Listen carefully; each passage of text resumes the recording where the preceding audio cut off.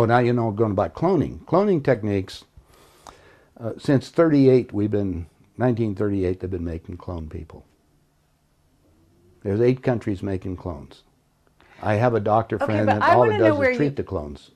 Where do you get your information? I get it from some of the people that are willing to come forth, and they talk to me because they hope I'll put the information out because they, they always got two people following them, and they may be killed. If I start talking about cloning too much, the people that get involved into that uh, you disappear on it. So I don't go into too many more details. But there are inform- there is information that's available, and it more and more of that's coming on the line. I just told you, go rent the uh, the movie. Okay, Boys from Brazil. Yeah, and you'll see the whole technique on what they they show it to you in different places, so you you can imagine what it's going on.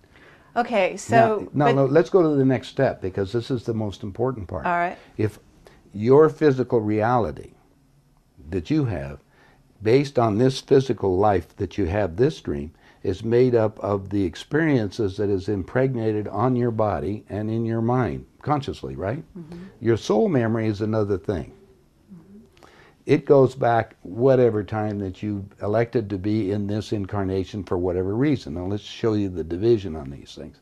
Since the body's very physical, and we had we just got you making a physical being in a few months for spare parts.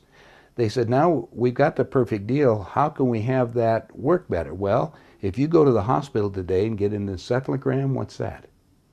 That's the memory of your conscious mind.